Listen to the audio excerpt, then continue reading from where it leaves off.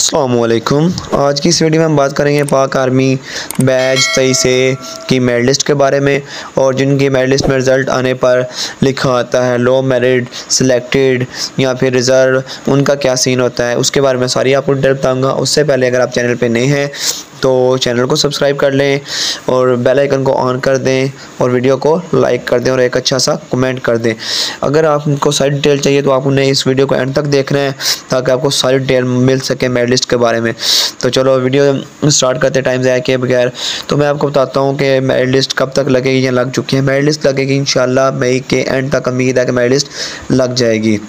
List लग जाएगी, उसके बाद आपका, आपको जो फेल है, वो पास लग जाए, पता लग जाएगा, वो फेल है, वो तो मतलब अब फिर वेट करें ना, जो अगली वैकेंसीज आनी है, उनका वेट करें, क्योंकि उनका तो फिर कोई आगे सीन ही नहीं है। रिज़र्व वाले होते हैं, उनका थोड़ा बहुत चांस होता है, जो सिलेक्टेड होते हैं, उनका तो फिर चांस ही चांस होता है, वो सिलेक्टेड होते हैं, उनका तो मेडिकल होना ही होना होता है, उनका मेडिकल हो जाता है। रिज़र्व वालों का क्या सीन होता है?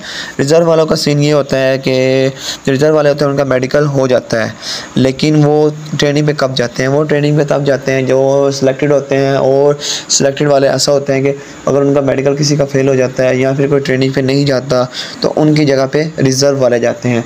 रिज़र्व वालों की कोर कौन सी लगती है? रिज़र्व वालों की कोई कोर नहीं लगती। उनका ये सीन होता है कि जिस कोर से कोई लड़का नहीं जाता या फिर मेडिकल फेल हो जाता है या वापस आ जाता है तो वो उसकी जगह पे ट्रेनिंग पे जाते हैं। ये सीन होता है।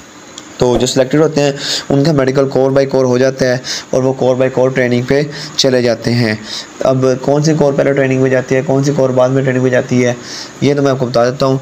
जो ज़्यादातर होते हैं, वो ए वाले पहले ट्रेनिंग में जाते हैं, उसके बाद सिग्नल हो जाते हैं, फिर ई e हो जाती है इंजीनियरिंग हो जाती है, लेकिन इन्फेंट्री और टली तो एंड पे ही जाती है।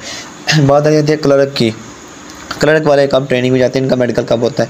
ये क्लर्क काम का सिर्फ़ ट्रेड होता है। कोर आपकी A M C E M E signal यही कोरें वगैरह होती हैं। इसी कोर पे आपने ट्रेनिंग में जाना होता है। इसी कोर के मुताबिक आपका मेडिकल होता है।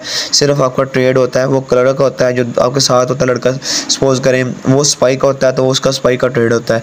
आपका ट्रेड कलर का होता है। आपका उसका ट्रेड ऊपर होता है क्लर्क से। तो इसलिए आपका ट्रेड कलर ऊपर होता है तो आपकी सैलरी भी कलर की ज़्यादा होती है। ये ट्रेनिंग में उनके साथ ही जाते हैं। जो फेल हो जाते हैं उनका आगे कोई चांस नहीं होता उन्होंने तो, तो अभी अप्लाई करना होता है जब न्यू वैकेंसी आज़ाद नहीं होती है। रिज़र्व वालों को चांस होता है लेकिन कम चांस होता है क्योंकि रिज़र्व वाले अगर वैकेंसीज आए तो अप्लाई कर लें। अच्छी बात है। तो मई के एंड तक हमें बहुत उम्मीद है इनकी मेरिट लिस्ट लग जाएगी और ना भी लगी तो इन मई जून या जून के स्टार्ट में ज़रूर लग जाएगी क्योंकि फिर न्यू वैकेंसीज भी आनी होती हैं।